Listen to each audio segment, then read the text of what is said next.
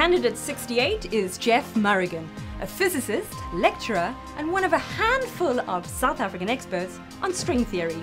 Now, that's that branch of science that most people find fascinating and very few people actually understand. Apparently, Jeff is such a good lecturer that his students have even created a Facebook appreciation page. All good in theory, but can Jeff explain complicated science matters to a bunch of five year olds? Oh, what are ladybirds doing? 30 seconds, right? Mm-hmm. Do you guys know how ton- what a tornado is? Yes.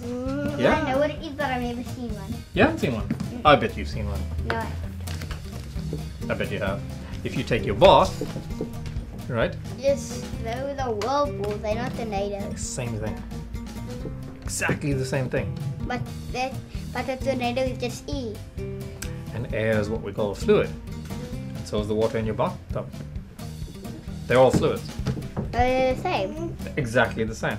Oh look, here's the sun. Wow. Big, eh? The sun is just a star that's close up. Wow. So what's a star? A sun. And what's a sun? A star. Okay. Something like that. Hmm. Like when you're ice skating and you turn and you put your hands in, you go faster. And if you put your hands out, you go slower.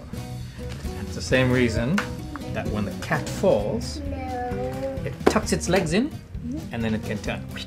And then it stretches its legs out and then it lands. Isn't that cool? So next time you walk on a carpet, try this. Well, don't try very hard because it's shocking. Um, Shock. Yeah. Um.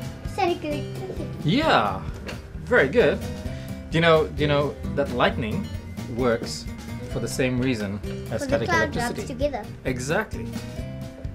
Well done.